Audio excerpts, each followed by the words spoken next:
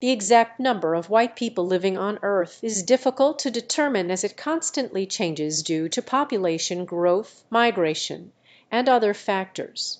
The global population is estimated to be around 7.9 billion people, with various racial and ethnic groups distributed differently across different regions and countries.